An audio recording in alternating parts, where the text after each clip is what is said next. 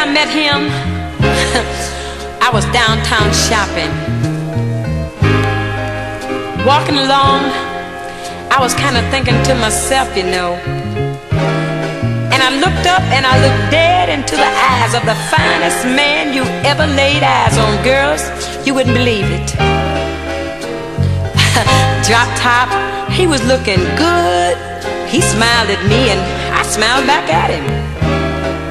I went on about my shopping and he drove on off. Thinking about my shopping and that fine man I just saw. And I looked up and he was standing right behind me. So I didn't want to act like I was afraid or nothing, so he smiled at me and he started hitting on me. And I said, Say, mister, I already got a man and he's good to me. So he said, It ain't nothing wrong with having a cup of coffee, baby. And my heart got in the way of my mind. And the devil got into me. And we sat down and he rapped to me over the coffee and he's telling me all those sweet and innocent things and you know what?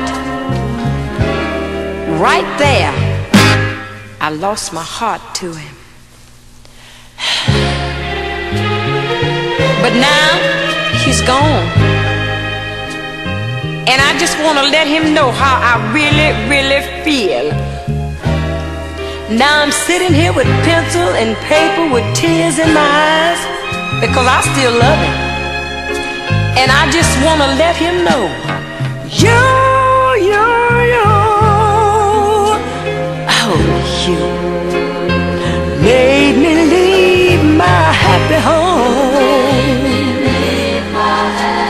That's what you did. You took my love and now you're gone somewhere.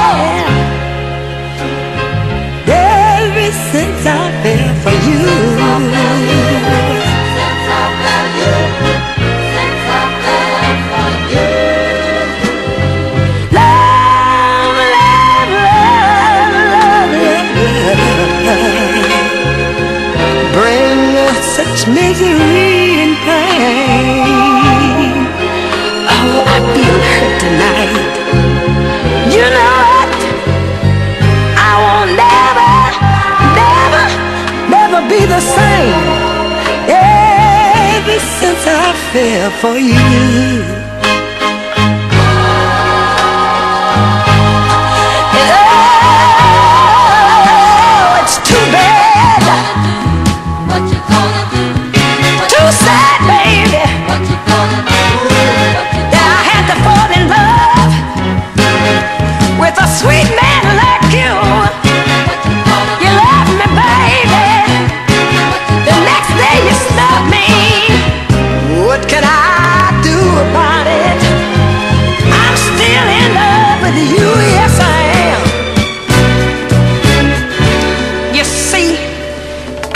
Of those girls that thought I could never, but never be captured.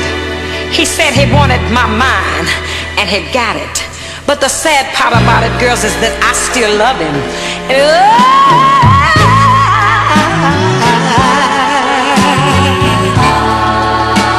Yes, I'll never, never see the light. I get those blues about 12 o'clock every night. Yes, I